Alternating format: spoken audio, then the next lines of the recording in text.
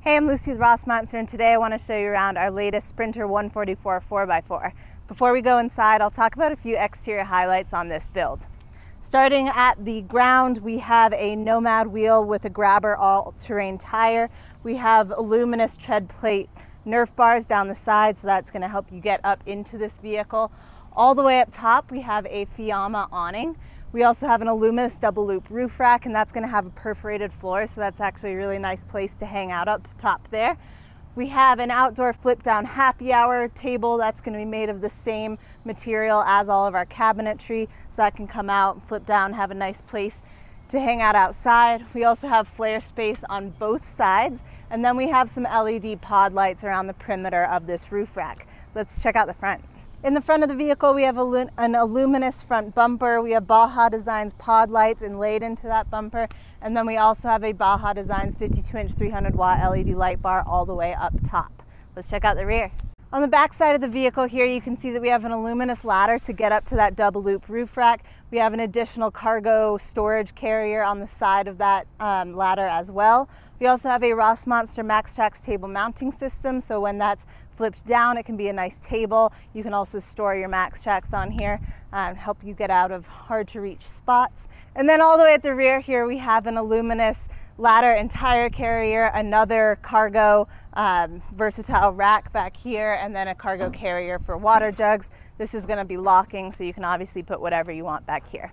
Let's check out the inside. Welcome inside. Before I go into the specific components of this build, I'll talk about the design highlights as well as the overall layout. So we have Fenix cabinetry, so all of our uppers are going to be in Blanco, and then all of our lowers and everything on the driver's side here is going to be in Verde. We have walnut butcher block countertops, gray mix upholstered wall panels, and then all the way up top we have a pine tongue and groove ceiling, but that's going to be stained walnut so that it matches our cabinetry here. When it comes to layout, we have a secondary riding bench seat here that can also convert into a flat sleeping area. We have our galley predominantly here over on the passenger side. As we move back from there, we have a closet. This is gonna be our Murphy bed, so this will flip down. We have a fold out mattress, so this becomes a fixed bed in the rear.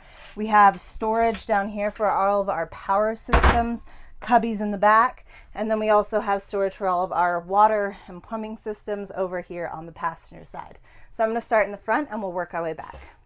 In the front of the vehicle here, we have a Wilderness Vans um, broad arrow bench seat. So this is also gonna have a Limitless Vans base so that we can swivel it to face forward. Then you can lay it out flat like a bed. And that can be an additional place if you have some additional riders who also need a nice place to sleep. On the passenger side, we have our fold out shower. So you can pop this open, it folds out, and then you can use it right here. We have a, a soft shower curtain, which will hook into all of these hooks so you can ensure that all of the water stays confined in this area. Moving back from there, we have a 15 by 20 Ruvati workstation sink with a cutting board insert. Underneath that, we just have some nice storage in this open um, cabinet box there. Moving back, we have a two burner Empava induction cooktop. And underneath that, we have an isotherm fridge and small freezer up top. Moving over to the driver's side, we have a nice roomy closet. So all of this is going to be on slam latches so that everything stays shut while in transit. Same thing with our uppers, but then our uppers are also going to have gas struts for assisted opening and closing. And then underneath the closet, we have storage for our toilet. So this is gonna be on 500 pound locking slides. You can just pop it out, use it, and then when it's not in use, slide it back and keep it out of the way. Moving back from there, we have storage for both our power systems and our plumbing systems. So starting with our power systems here on the driver's side, we have 600 amp hours of lithium iron phosphate battery bank. We have a 3000 watt inverter and we have 600 watts of solar coming in through the top.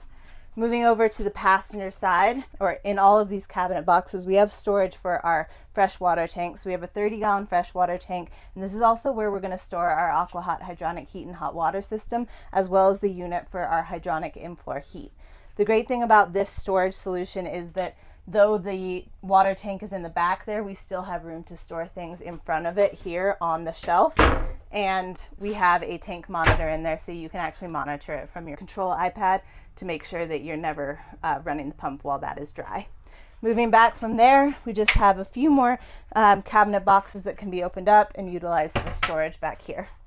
Above both of those storage areas, we have a Murphy bed. So you can go ahead and release both slam latches, drop this down, and then we have a custom trifold touched mattress back here and then that becomes a really nice sleeping area. The best thing about this is that you utilize all of the space within the van when it's folded away. And even when it's folded out, you do have space underneath this bed to keep things um, in that aisleway, whether it be bikes or other gear that you're taking out on the road. Closing out this back area, just a few nice final features. We do have the Flarespace, so that's gonna make it a little bit more roomy on both sides. Additionally, a really nice feature of this van is that our aisle is so wide, so you can actually step around people while you're in here and have two people cooking at the same time, which is pretty unique in a Sprinter 144. Um, closing out this area, we'll talk about ventilation. So we have a half slide window on either side. In the main living area here, we have CR Laurence T-vent windows. So there's gonna have the awnings on the bottom. All the way up top, we have a Maxxair fan in the front area. And then we have a Dometic RTX 2000 AC unit in this sleeping area back here. And then as I mentioned for heating, we have the AquaHot hydronic heat and hot water system. So that'll pull hot water to our indoor shower, our sink, as well as our outdoor shower.